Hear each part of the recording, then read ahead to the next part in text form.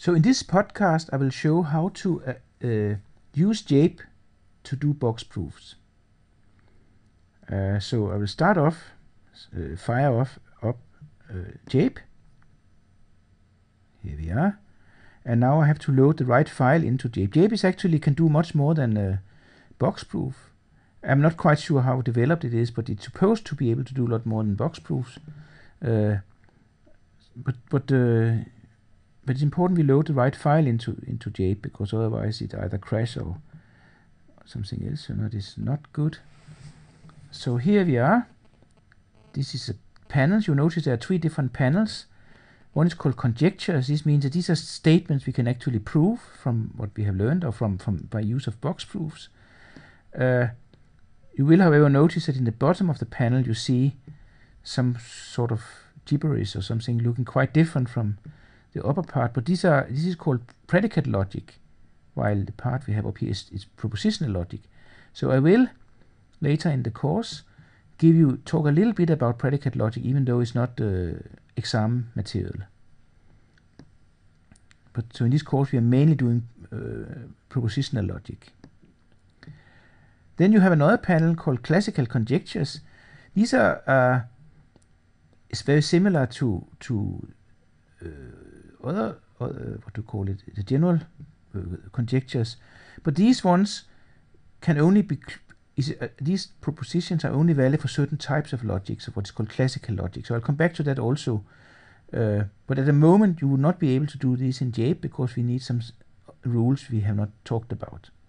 Finally, we have invalid conjectures. These are statements that simply are not true. They are simply not tautologies, so they're not valid in general. It's not in general valid that we from a, a premise you have here to the left can derive this statement you have to the right.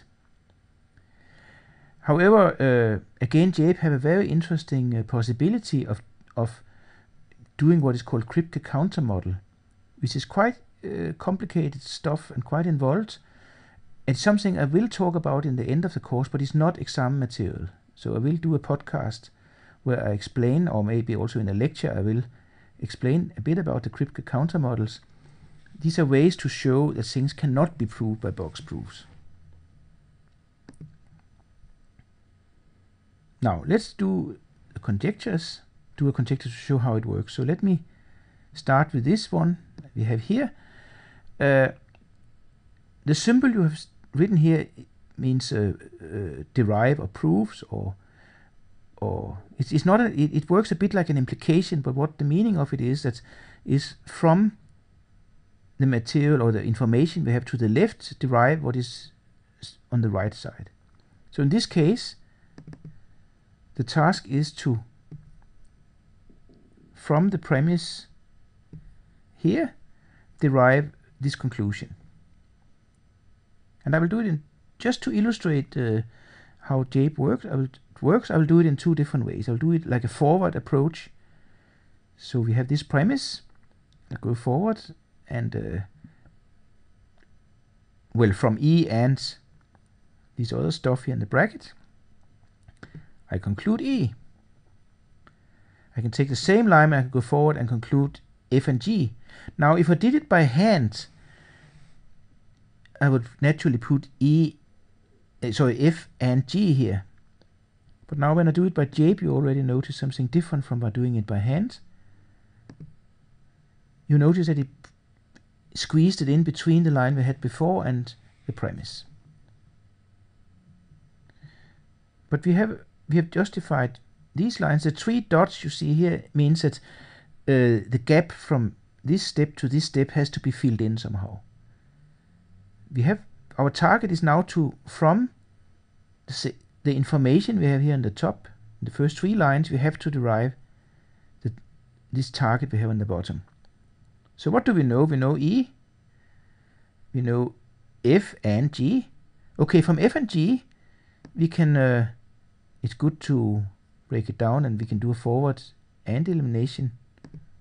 So we got the F. Again, it, it has this Jape squeeze it in between the line we had before. And this one, and I put forward and I do a and elimination preserving right. So up to this point, we have broken down the original premise into uh, shorter statements. So we have, we have, what we have done is we have taken the premise we have up here, and then we have now derived g, we have derived f, and we have derived e. And from these we want to eventually to derive this thing. Now I think because I will do everything forward, uh, I have to be a bit careful. Uh, maybe it's a bit too risky to do it forward because I have to make sure. Let me see. It's just an experiment. Let me try to do E and F and forward and introduction. Sorry, yes, and introduction. No, it did not like that. Let me just try. Oops, it didn't like that either, so do an undo. I will play around with it a bit like you also should play around with it because it's not. Uh, let me see, I'm curious now. You want to do E and F. That's what, what I, if I had, did it on a piece of paper, I will just write E and F here. So let's do that and I right click on F. Now I have highlighted these two and let's do a forward and intro. Oh, and now it gives me the choice here to choose which one I cho choose. We want E and F, so we want A. So we got that. Now, uh, what about taking... I'll, I'll try in this proof to do everything forward. So what about this one? Oh, sorry.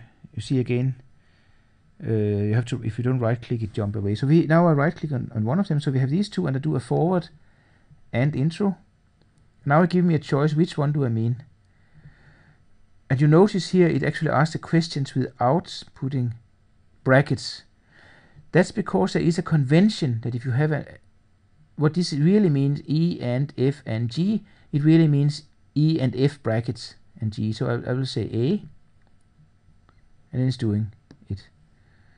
Uh, in this course, by the way, I often put, uh, even in this case, you see Jape didn't put the brackets because by convention, if you have a, an AND with 3, the bracket is always put to the left. But that kind of burden the memory a bit. So I, I mean, I, normally I will always put the bracket. So you are not supposed to necessarily to. I mean, you see a question at least. I always put the brackets so so it's explicitly made explicit how to interpret the formula.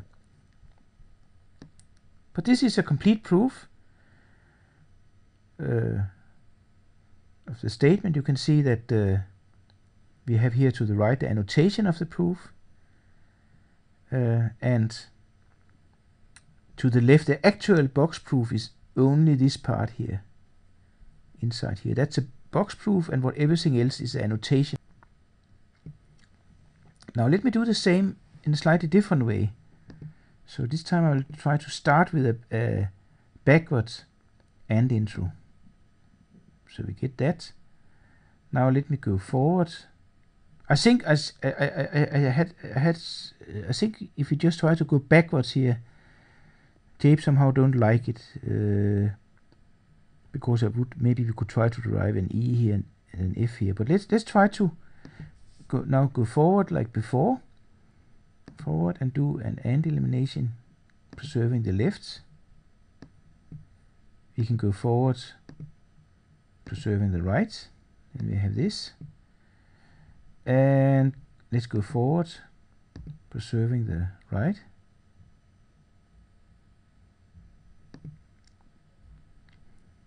And now we er, are, let's see, we can go forward preserving the lift.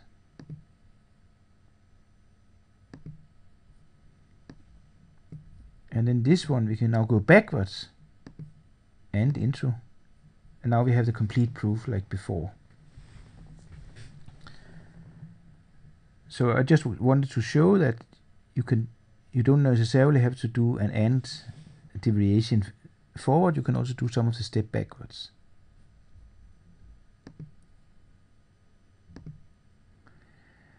Now let's do, uh, let me see. Now I want to do some box, some, some of the ones with implication. So I do a new, this one I will uh, do a kind of fun type of implication that illustrate the AND game quite well. So the implication game quite, quite well.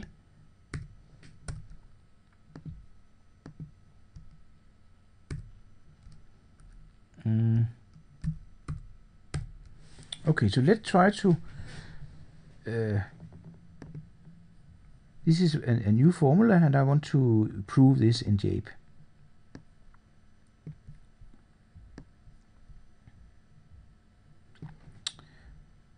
So the task is to derive this. So we have to, in some sense you can say we have to, to justify that line or prove this line is valid. It turns out it's a tautology. It's actually quite useful to think about why it's a tautology. So I think I will, I will explain that here. Uh, we can of course do the truth table and then that will be that will show come out as tautology but I can also we can also explain why it must always evaluate to true this whole thing and the explanation is that suppose it somehow was possible to make this thing false. If you could make this thing false, how would that be possible? I want to show it we cannot make it false. So what the way I argue is that I say I, I will try to see if we can make it false and then see this is not possible. The only way this formula could become false by use of truth table is that if A is true and this thing is false. Remember false implies everything. So the only way by truth table this one evaluate to false is A is true and this is false. But how can this thing be false? Well, the only way this can be false is B is true and this thing here is false. But how can C implies A be false? The only possibility is that C is true and A is false. But that's a problem because we started off just explaining that A had to be true, and now we co conclude that A has to be false.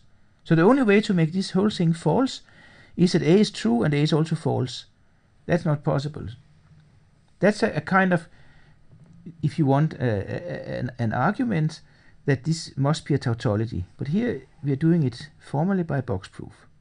So we go backwards, do an AND uh, implication introduction.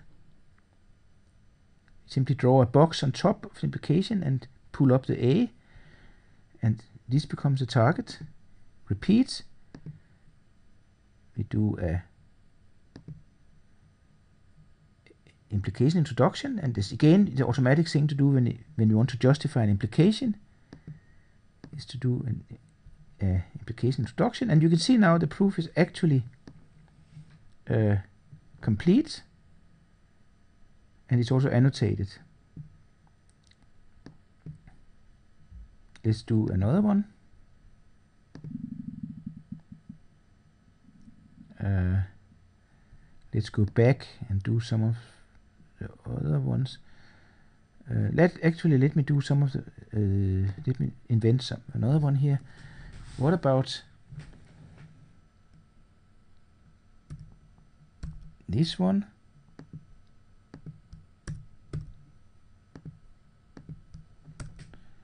me put a bracket around this. I always like to put more brackets than uh, so, so uh, put enough bracket that there's absolutely no ambiguity about how to interpret the formula.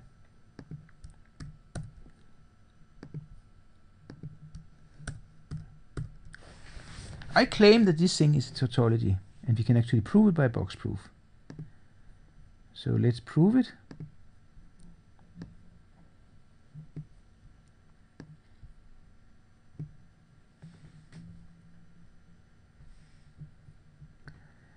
Uh, the first step is more or less automatic because we have to justify an implication and so we go backwards and do a implication introduction. Oh, I think the fonts are font size is uh, not so good. What do I do here? Formula font size. Let's shift to this. Let's also shift to this. Okay. So